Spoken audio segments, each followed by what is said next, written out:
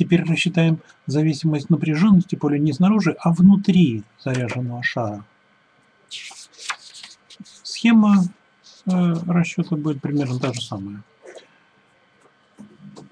Шар радиусом r большое заряжен плотностью, которая зависит от расстояния до центра шара.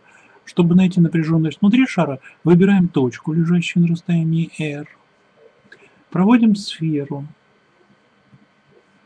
поскольку задача у нас центрально-симметричная, и записываем теорему Гаусса для потока вектора напряженности поля через поверхность этой сферы S. Это у нас будет равно единице на эпсилон с ноликом, суммарный заряд ρ умножить на dv находящиеся внутри этой сферы. То есть объем V ограничен сферой S.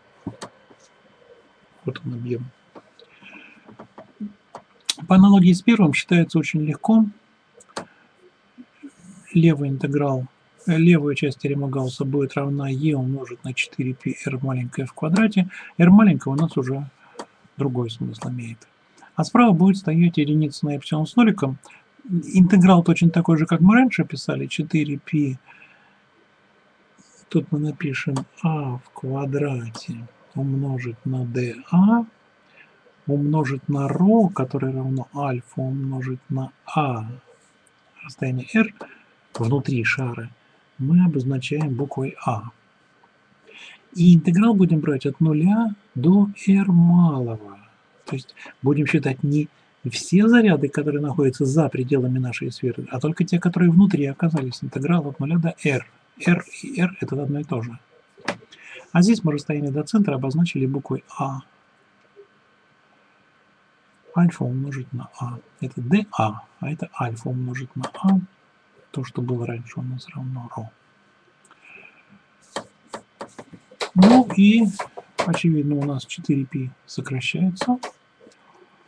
Здесь у нас будет а, ну возьмем e умножить на r квадрат будет равно единице на эпсилон с ноликом. Альфа вынесем. И останется у нас а в кубе на dA. а в четвертой делить на 4 от 0 до r. Если мы подставим верхний предел интегрирования, получится альфа r четвертой на 4 эпсилон с ноликом. Отсюда e будет равно альфа на 4 эпсилон с ноликом умножить на r в квадрате. Видно, что это у нас квадратичная парабола. То есть график в зависимости от напряженности от расстояния внутри будет определяться такой параболой. Причем достигнет напряженность значения максимального на краю шара при r малом равном r большому альфа r в квадрате делить на 4 эпсилон с ноликом. Сравним с тем, что у нас было в предыдущем расчете, когда мы считали поле снаружи. Там у нас получалось альфа r в квадрате делить на 4 эпсилон, и здесь альфа.